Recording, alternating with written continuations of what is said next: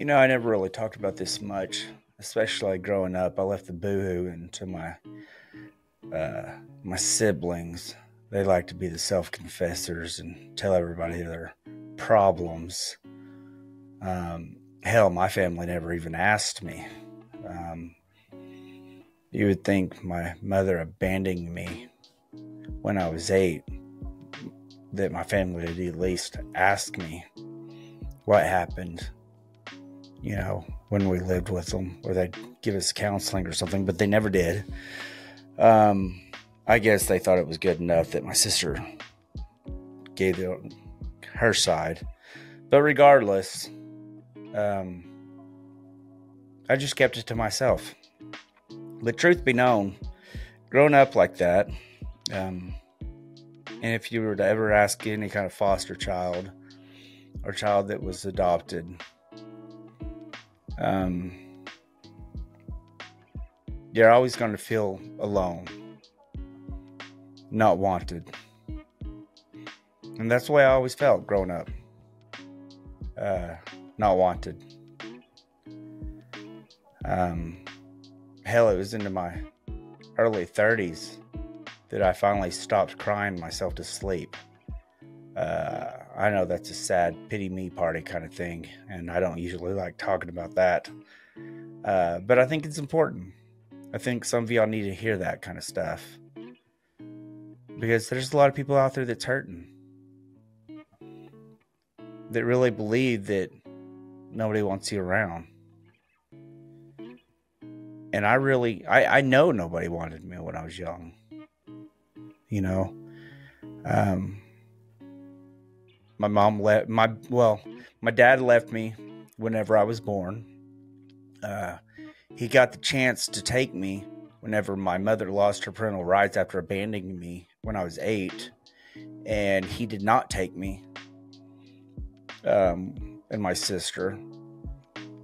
And then um, my aunt and uncle tried giving me a, away well my granny and grandpa took us but couldn't keep us. I found out later they had, you know, my granny was sick, so they gave us to my aunt and uncle who tried giving us to my other uncles, but you know they tried giving us away, but nobody else really wanted us.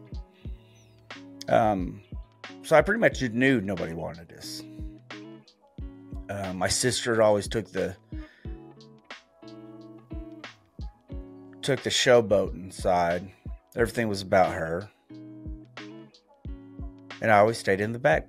When I moved out on my own, I was still in high school. But I graduated high school. Nobody showed up for my graduation. I had to have back surgery. I, I was paralyzed for a little bit. But I still became a police officer. And when I went to the academy and graduated the academy, my family didn't go to my graduation. I was alone. Nobody wanted me then. And the reason why I'm saying this is not to say pity me, poor me.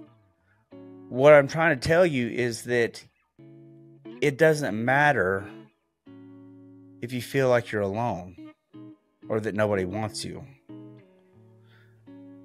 Because even if it's true, which I can almost guarantee it's not, most of the time, it's not. Sometimes it is true. Sometimes you're not wanted. And it's not because you're a bad person. No, if you're a child, it, it has nothing to do with you. It's because it, they're shitty people. That's simple. It's because they are shitty.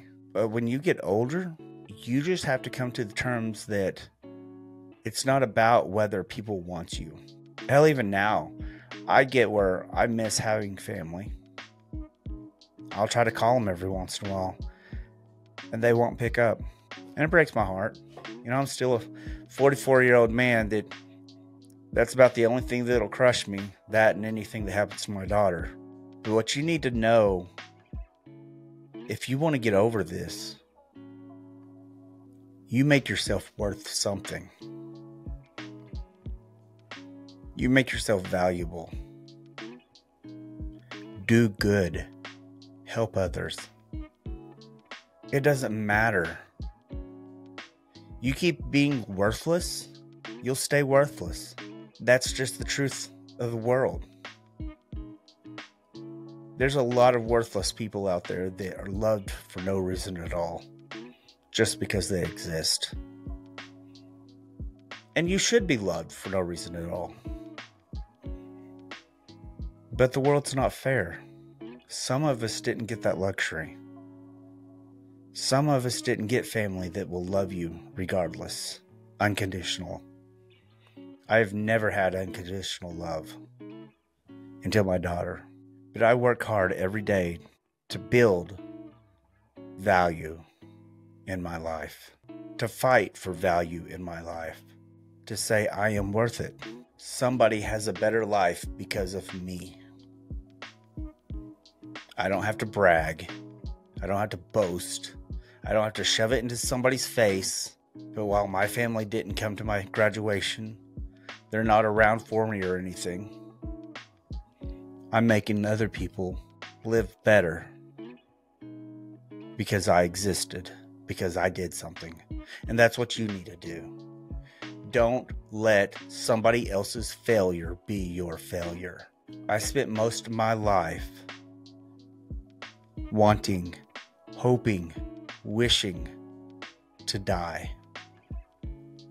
I did. I didn't want to live. No, I wasn't suicidal.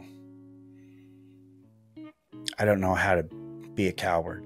Oh, I do still think that it takes a lot of bravery to kill yourself. I also think it's a coward's way out, too. I'm not going to give up. I was never that guy. But I didn't want to live anymore.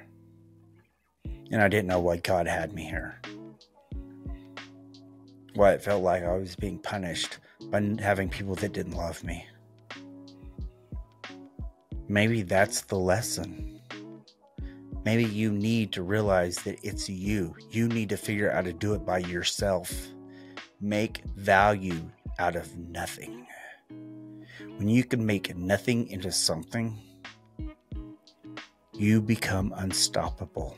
Don't depend on the world to create your value. You create it. Become unstoppable. Stay in peace. Stay in love. Hey guys, I want to personally thank everyone for liking and sharing my videos.